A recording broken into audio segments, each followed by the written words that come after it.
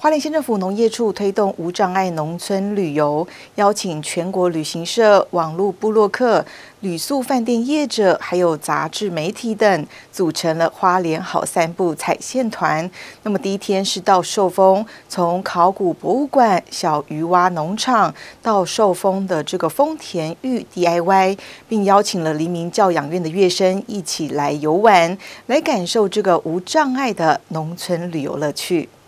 来自全国各县市的旅行社业者、网络部落客、杂志媒体，还有旅宿饭店业者，一连三天来到花莲展开无障碍农村旅游体验行程，同时还邀请黎明教养院的院生一同出游，感受花莲地区推动无障碍友善环境的成果。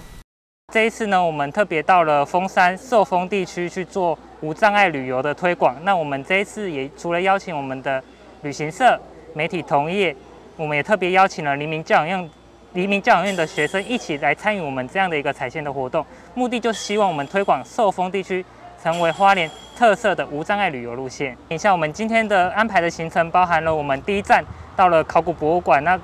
寿丰的考古博物馆也是今年年初才刚开馆的，那他们有完善的无障碍的设施，包含无障碍的厕所、坡道等等的内容。那接下来我们到了小雨蛙，那小雨蛙他们建制了一个智慧温室，那他们也期待在未来可以推动。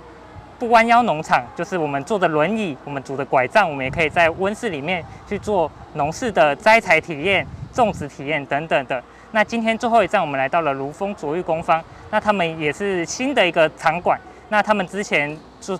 之前是一个玉石的工厂，那现在转型为一个玉石的 DIY 的观光体验的部分。那我们也在这边有一个完善的无障碍的设施，那邀请大家一起来参与我们的无障碍旅游。彩线团第一天来到花莲寿丰地区，首先参观了考古博物馆，接着体验小雨蛙农场的农村生态，最后是来到了如风卓玉工坊，来认识台湾玉以及亲手研磨台湾玉。随团的布洛克和媒体也都很认真的听取导览解说，并且录影拍照，也和黎明的乐声一起 DIY 磨玉石，感受到花莲农村无障碍旅游的乐趣和自在。据旅会寿丰乡报道。